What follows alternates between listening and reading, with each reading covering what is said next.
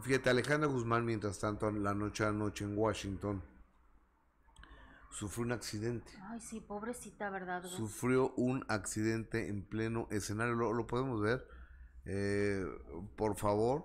Estaba cantando. Estaba, eh, estaba cantando y estaba haciendo algunos pasos tipo ballet donde se agacha y, demás es como muy artista. Que además ella ha bailado toda su vida, incluso los comparte a través de las redes sociales, los videos donde está eh, haciendo ballet, danza y, y, obviamente después de todo lo que ha pasado con tantas eh, operaciones Gus, pues el hecho de que pudo regresar a bailar y ella compartía que ese era uno de sus grandes temores, ¿no? El hecho de que después de todo lo que vivió en cuanto a su estado de salud, el poder regresar y bailar de esa forma era lo que más le preocupaba. Entonces, después de eso siguió ella compartiendo sus clases y la vemos ayer que de verdad no pudo sostenerse. Esto fue en Washington, D.C., adelante. Por favor. Estaba eh, eh, estaba Alejandra cantando, se hace una flexión hacia adelante, algo le pasa ahí y se cae, se cae Alejandra, la tuvieron que sacar en ambulancia. De ahí ya no ha habido hasta el momento una mm. declaración. No, no ha habido más información, solo que obviamente fue llevada al hospital. Se ve quizá que se le atora un poco el tacón y se, se ve que se recarga solo de ese lado, Gus, y bueno, cae completamente de, cadera. Sabemos que ya tiene eh, problemas serios en, en, la cadera, entonces esto pues fue un golpe muy fuerte. No se ha dicho más detalles de, de cómo está, solo que está en el hospital, que obviamente fue llevada de, urgencia, no pudo terminar evidentemente eh, su presentación. Y sí preocupa, Gus, porque sabemos todos los problemas que ha tenido eh, con la cadera y poder recuperar su salud. Mira, a Alejandra, pues es una guerrera porque mira, donde le, inyectan los polímeros es en el área de la cadera, en, la, en las pompas. Entonces ahí la han tenido que operar una y otra y otra vez. Es más, creo que tiene hasta una parte abierta para no tenerla que estar abriendo cada vez. A cada rato. a cada rato para porque los polímeros son como hagan de cuenta eh, el material de los discos compactos de los CDs pero se mete entre la piel las arterias las venas el hueso la carne.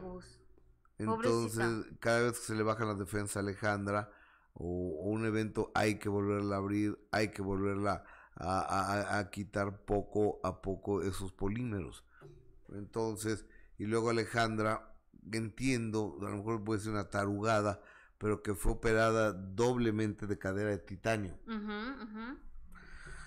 Yo, pues la verdad, yo, yo, yo, le mandé a, a Frida Sofía el video de su mamá, me dice, pues espero que se recupere. Le digo, estuvo fuerte la caída de tu mamá, dice, hola Gus, pues no sé, ojalá y se recupere pronto, le mando la caída del video. Y Frida me escribe, ¿qué te puedo decir? Me dice Frida Sofía, ella ni me habló cuando se murió mi hermana. Para mí ya no existe. Que una hija se refiera Así las cosas. Y ella está muy contenta ahora, Frida, porque ya arregló su situación eh, legal en Estados Unidos, aquel problema que tenía de, de la chava que con la que terminó en pleito en un bar de, de, de, Miami, ya se arregló al cuate al que golpeó.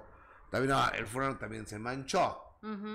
Es como película pornográfica que, que, de repente te van a llevar el, el tanque del gas y, y, y, te, y terminas teniendo relaciones sexuales con el que te lleva el tanque del gas. Era un cuate que le llevó unas persianas, le fue a poner unas persianas y resulta que, dicho por Frida, ¿eh? no, no, no dicho por mí, empiezan a, tener intimidad, sexo, y de repente voltea y el cuate la estaba videograbando con su teléfono.